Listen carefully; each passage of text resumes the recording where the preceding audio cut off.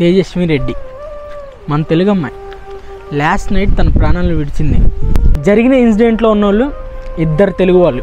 ఇద్దరిని పొడి చేశాడు. ఒక అమ్మాయి అయితే స్పాట్లో డెడ్ అయింది. ఒక అమ్మాయి ఇప్పుడు ఇప్పుడే కొంచెం రికవరీ అవుతుందని పోలీసులు చెప్పడం అయితే జరిగింది. లండన్లో చాలామంది ఇలానే చనిపోతుంటారు. లండన్లో స్టాబింగ్ అనేది చాలా ఎక్కువ. డైరెక్ట్గా వస్తారు. మీ దగ్గరకు వస్తారు. డబ్బులు అడుగుతారు. లేకపోతే ఫోన్ అడుగుతారు. ఇచ్చామా? ఓకే. ఇవ్వలేదా? పొడి చేస్తారు వెళ్ళిపోతారు. లండన్లో రూల్స్ ఎలా ఉంటాయంటే ఇప్పుడు నువ్వు కార్ వేసుకొని వెళ్ళి రెండు ట్రాఫిక్ సిగ్నల్స్ దాటాయి. ఇక సాయంత్రం కల్లా లేకపోతే రేపు సాయంత్రం కల్లా నీ ఇంటికి ఫైన్ లెటర్ వస్తుంది. బట్ నువ్వు ఎవరినైనా పొడి చేసి వెళ్ళిపో. నిన్ను ఎతకడానికి కొన్ని డేస్ అయితే తీసుకుంటారు వాళ్ళు. అంత ఈజీగా తీసేసుకుంటారు ఇక్కడ. చాలా ఇన్సిడెంట్స్ జరిగినాయి.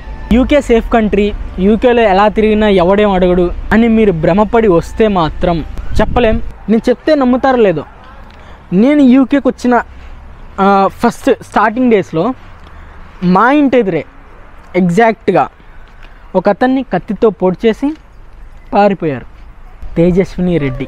రీసెంట్గా తన ఎంఎస్ కోర్స్ని ఫినిష్ చేసి ఇప్పుడిప్పుడే తన గోల్స్ వైపు కెరియర్స్ వైపు అడుగులేస్తుంది.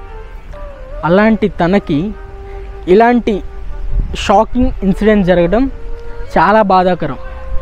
నైట్ ఒంటరిగా తిరగడం మానేయండి. వీలైనంత వరకు ఫ్రెండ్స్ గ్రూప్ వెళ్ళటానికి ట్రై చేయండి. ఒంటరిగా మాత్రం వెళ్ళకండి నైట్స్.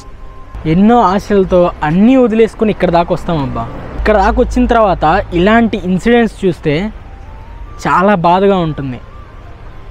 తన జీవితంలో ఎంత కష్టపడి ఇక్కడ దాకా వచ్చిందో ఎన్ని కష్టాలు పడి ఎంఎస్ క్లియర్ చేసిందో ఫ్యూచర్ కోసం ఎన్ని డ్రీమ్స్ కందో అన్నీ ఇక్కడే ఆగిపోయాయి. ఆర్ఐపి తేజస్వి రెడ్డి ఇలాంటి ఇన్సిడెంట్స్ ఇంకెప్పుడు జరగకూడదని ఆశిస్తున్నాను.